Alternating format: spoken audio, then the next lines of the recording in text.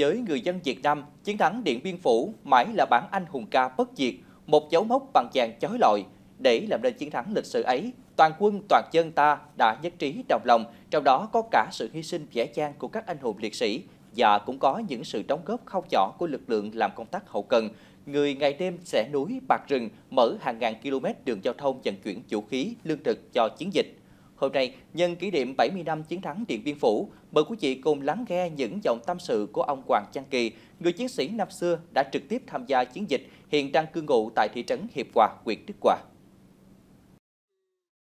Tham gia chiến dịch Điện Biên Phủ từ tháng 2 năm 1954, nhiệm vụ của ông Hoàng Văn Kỳ là xây dựng trận địa tiến công, đào chiến hào, chuẩn bị cho đợt 2 chiến dịch Điện Biên Phủ. Ông Kỳ cùng với các đồng đội phải lao động cực lực từ 14 đến 18 tiếng mỗi ngày. Những đêm giá rét, đào trơn địa, mồ khô vẫn tuôn chảy. Gặp những chỗ đất rắn hay nhiều sỏi đá, bàn tay các chiến sĩ phòng rợp, rướm máu.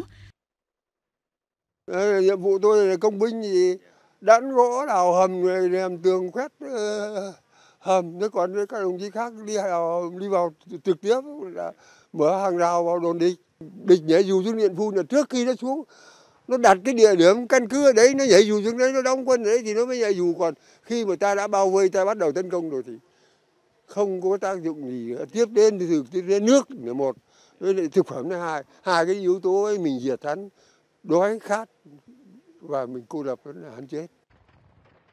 Cùng với đồng đội của mình, ông Hoàng Văn Kỳ đã vượt qua biết bao khó khăn dưới mưa bơm bão đạn để xây dựng nên những chiến hào ngang dọc bao vây tiêu diệt địch. Dựa trên hệ thống trận địa chằng chịt dọc ngang những chiến hào, giao thông hào, quân đội ta đã vận dụng rất thành công một chiến thuật mới là bao dây và đánh lớn, góp phần đưa đến thắng lợi vào chiều ngày 7 tháng 5 năm 1954, gây chấn động địa cầu.